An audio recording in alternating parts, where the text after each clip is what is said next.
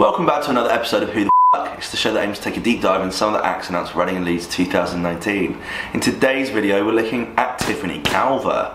She's a DJ from London. If you've never heard of her before, hopefully this video will help answer the question, who the fuck is Tiffany Calver?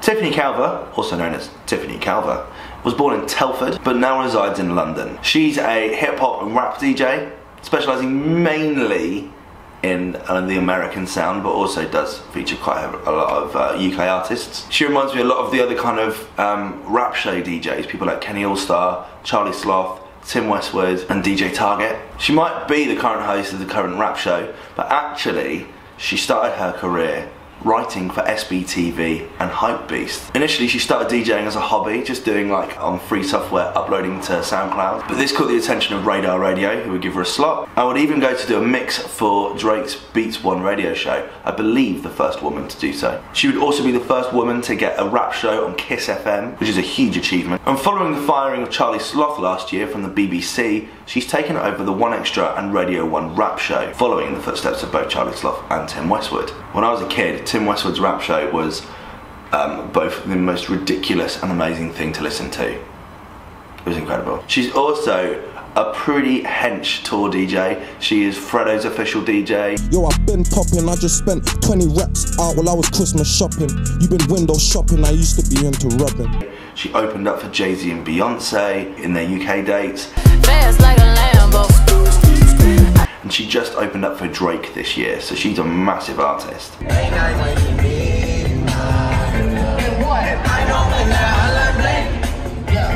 She's also the co-founder of Press, a PR strategy hub, working alongside artists like Bonkaz, Grew up on SN1 and that, grew up with knives and guns and that. Soul Action,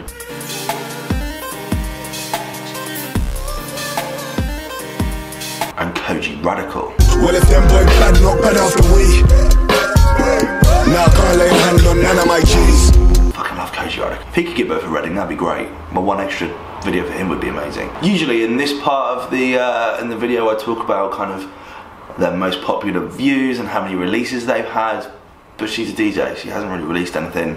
Um, there isn't anything to go out there in terms of view counts. She's got a wicked boiler room set video, if that's your thing. Santam from the book, ex XAJ. Man, stick with a pen like JK. True say I ain't really a drinker, but I got love for brandy like Ray J. And she's an old school DJ. She just plays other people's tunes. I like that. This is her first time playing Reading and Leeds. She's playing on the one extra stage on the Friday at Reading and the Saturday at Leeds. In between Banco. Banco? In between Banco and Gecko. WTF videos for those on the way. And this is a super, super short video. I'm really sorry. There's not really, I mean, we can go into depth about the rap show as, as, a, as a conversation topic, but um, I'm not really the person that knows the most about that. And she's a pretty, pretty big DJ. So if, if the rap show is your thing, then I would probably recommend checking her set out. But with not a lot of music to talk about, we've got a short episode. Currently, it looks like she's probably clashing with Mini Mansions and No Rome, two artists that the videos I've put out for have serious fans. And I can't believe how many views No Rome's getting. I think it's just overtaken the 1975 to be the most popular Who the Fuck artist. So that was a good one to cover, wasn't it? And because of that, I think his score's probably gone up, which unfortunately for Tiffany Calver, means that her score's probably gone down. So part of me wants to go and support the DJs because they don't get a lot of love. Um, and I think that playing the one extra stage in such a such an early slot is a really a really hard thing to do. So I, I really commend that. But I think when I look at the other artists that are playing, I know who I'd rather go see. So on the likely to see scale, unfortunately, I'm going to go with a two out of ten. What do you think? Are you excited to see her set? Have you seen her perform before? Um, have you listened to her radio show? I've not even listened to it yet. I probably should. Um, I probably should have done that before making this video. Really, sorry, sorry, Tiffany Calver. I promise I'll listen next week. I'd love to know what you have to say. Let me know your thoughts in the comment section below as always, and I will see you in the next one. Cheers. Bye.